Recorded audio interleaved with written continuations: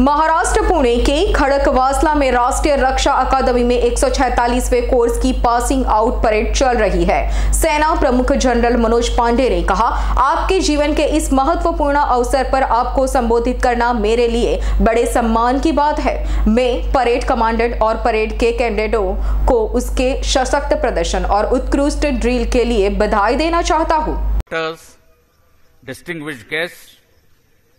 Members of the media, honor for me to address you on this momentous occasion of your life.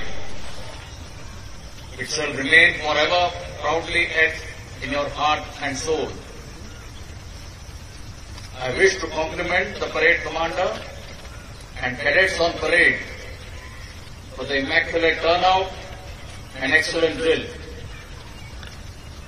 Your hard work and rigorous training are evident in the military precision displayed by all of you this morning.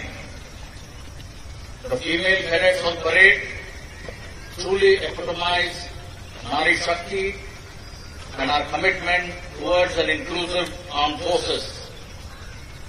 My congratulations to all of you. Well done and keep it up. અમારી તમામ માહિતીથી update રહેવા માટે જોડાયેલા રહો S nine news સાથે